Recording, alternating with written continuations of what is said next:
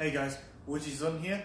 Um, so I'm going to break down the move Dao Hua, so broad, broadsword flower, which is the maneuver that uh, Jin Wangsun uses in Volume 4, Chapter 60.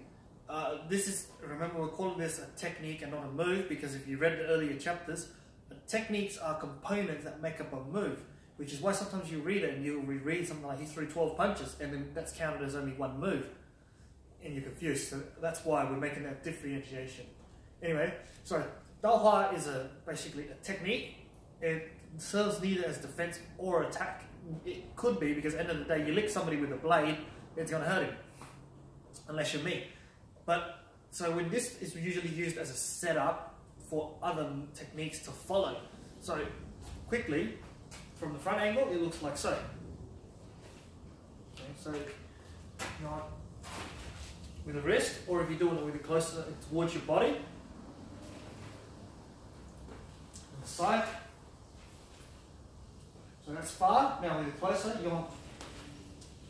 So as you can see where it finished, I finished up here on my shoulder, which is basically a starting position for another attack. For example, a straight thrust. So um, another thing I want to quickly say is you can move your body as you do it as well. So you could be doing this and stepping at the same time. There's no strict rules on that. So for example, you could be doing one flip coming back, or from the side, back. So that's just one way you can do it. Of course, there are all sorts of different ways. You don't necessarily need to come here and come fling them back out. Again, it's the setup and things move from there. Um, as you were noticing as well, you can do it with just the wrist or you can do it with your whole body. Doesn't really matter. If you like this sort of stuff and you would like me to do more of these to break down more of the moves within the series, um, let me know below in the comments. And if there's a specific one, leave that one there too. Hopefully that was the information.